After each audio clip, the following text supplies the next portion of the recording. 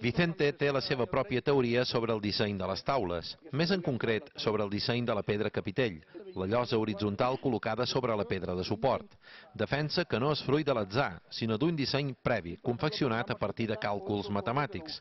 En el cas, per exemple, d'aquesta taula, la de Trapucó, seguiria una proporció geomètrica. Esta taula sería 2 por 4 por 8.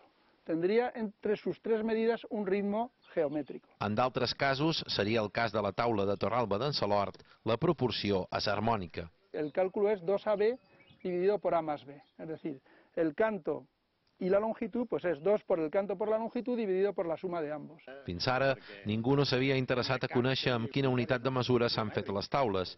Sí que hi ha hagut més interès a conèixer la cronologia de les taules, que seria tardana en relació amb l'inici de la cultura talaiòtica. Podem eh, imaginar o plantejar altres hipòtesis sobre la participació de la cultura púnica en algun moment eh, de la utilització de les taules com a santuaris. Les taules, unes construccions típiques de la cultura talaiòtica que encara mantenen avui molts interrogants oberts.